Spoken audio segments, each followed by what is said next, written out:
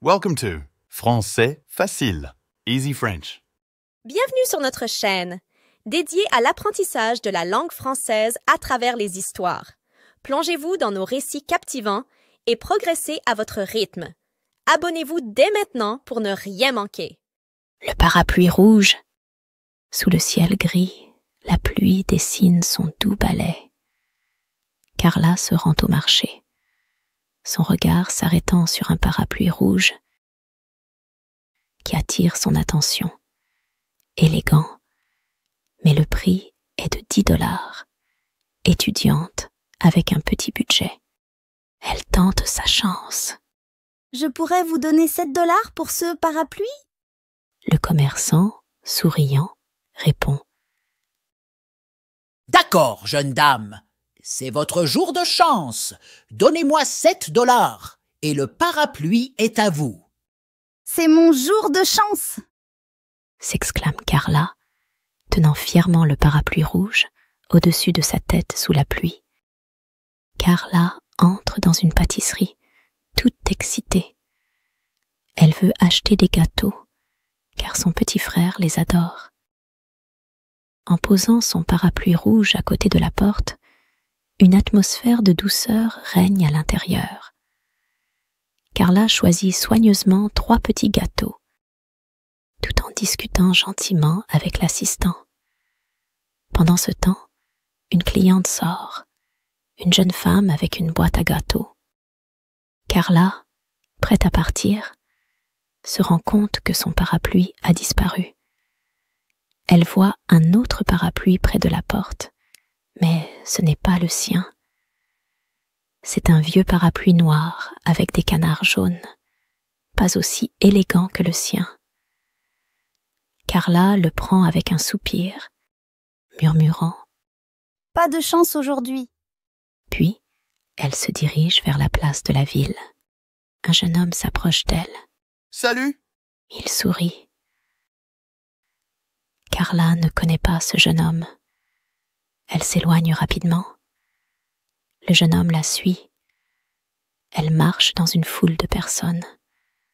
Le jeune homme suit le parapluie noir et jaune. Salut Attends crie le jeune homme. Carla se retourne, le fixe avec colère. Va-t'en lance-t-elle. Le jeune homme est triste, Marissa, je suis désolé. dit-il. Je suis très en retard. Je ne suis pas Marissa crie Carla. Tu n'es pas Marissa?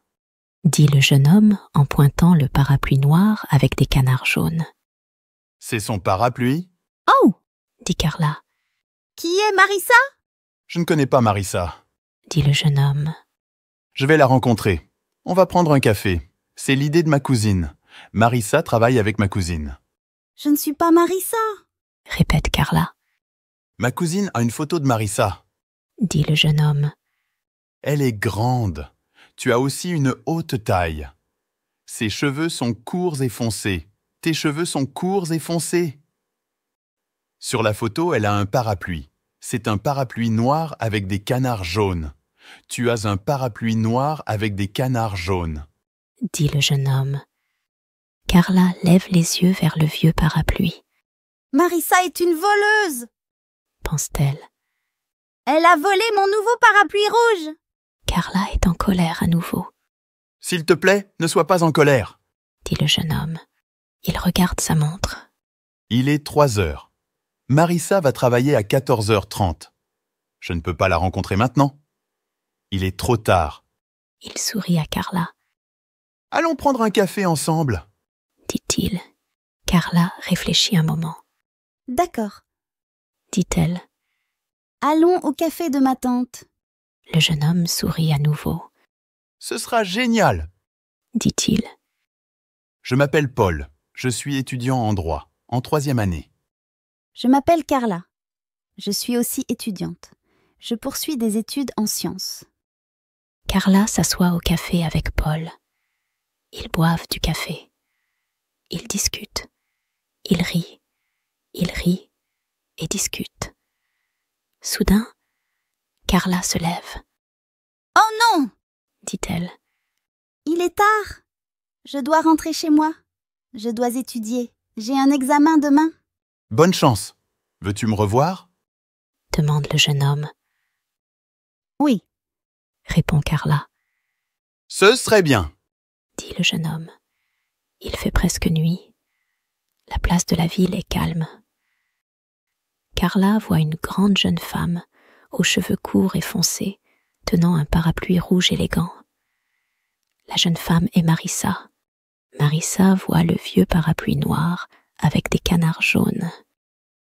Elle est inquiète, et soudain, son visage rougit, Ne t'inquiète pas. dit Carla. Garde mon parapluie rouge. J'aime ce parapluie. C'est un parapluie chanceux. C'est mon jour de chance. La pluie tombe sur les parapluies. Carla sourit, puis elle court chez elle. Et voilà, nous arrivons à la fin de cette vidéo. J'espère que cette méthode d'apprentissage du français vous a été bénéfique. N'hésitez pas à me faire part de vos impressions dans la section commentaires. Avez-vous trouvé cette approche utile? Souhaitez-vous voir plus de vidéos similaires à l'avenir? Vos retours sont précieux pour moi. Merci infiniment d'avoir suivi cette leçon et à très bientôt pour de nouvelles aventures linguistiques.